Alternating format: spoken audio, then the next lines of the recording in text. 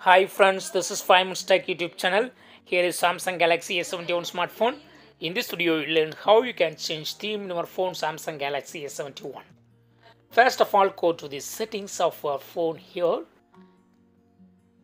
Now click on themes. Click agree. And here you can select any theme. Click on this top and click on this arrow mark. Click on free option here all free themes are listed. Just select any one. Go to download this free theme. I select this one and click on download button. Wait few seconds for downloading.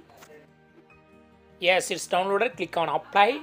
Click on apply again here and yes, the theme will be applying. Just wait few seconds. Yes, theme has been applied now. See the changes. Theme has been changed to what I have downloaded. Again, I go to the settings and click on themes. Here you can select any other theme to download. Otherwise, you can go back to default. Click here and click on my stuff. And here you can select default theme.